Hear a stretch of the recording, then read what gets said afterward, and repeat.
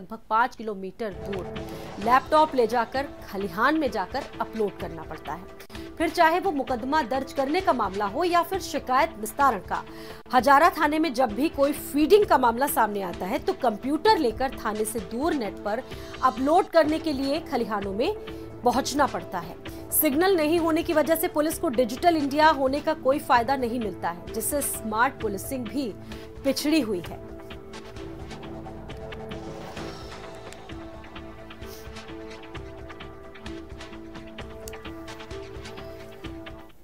जो सरकार बी का हो या अन्य प्राइवेट कंपनीज़ का हो तो कमज़ोर है सिग्नल कमज़ोर है। और नेटवर्क की दिक्कत तो रहती है बॉर्डर एरिया नेपाल बॉर्डर होने ना, होने के नाते।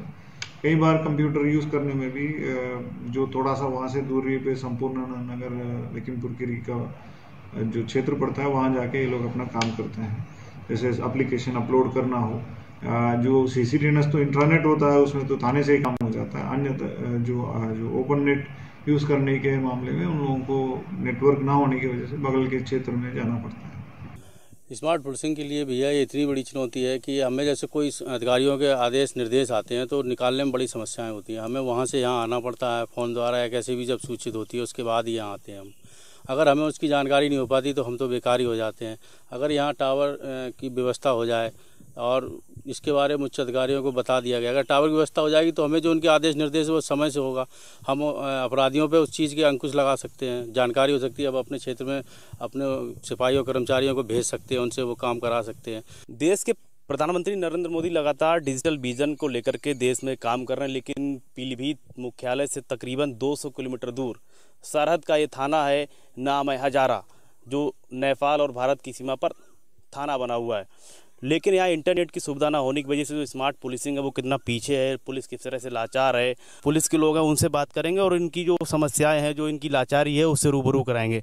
सर ये बताइए आप थाने से तीन चार किलोमीटर तकरीबन दूर आए हुए हैं। क्या समस्या रहती है आपको यहाँ दूर आना पड़ता थाना यहाँ पे चार साढ़े चार किलोमीटर दूरी पे है परंतु वहाँ नेटवर्क नहीं आते। नेटवर्क यहाँ आ जाते हैं परंतु वहाँ पे एक टावर भी नहीं है एक टावर की व्यवस्था की जाए जो दूर दराज का क्षेत्र है हमारा।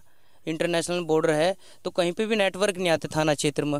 ये एरिया है, यहाँ पे कबीरगंज है। कबीरगंज से 500 मीटर दूरी पे हम यहाँ पे एकांत स्थान पर आते हैं अपना कार्य करने के लिए। लगभग दो से तीन घंटे हमें यहाँ पे देना पड़ता है।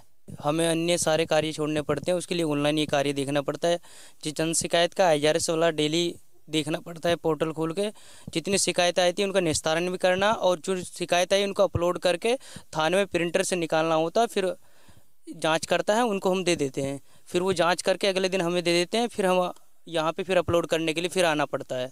सहयोगी महेश कौशल के साथ हरिपाल सिंह भारत समाचार पीलीभीत। आगे बढ़ते हैं खबर पीलीभीत से है जहाँ पर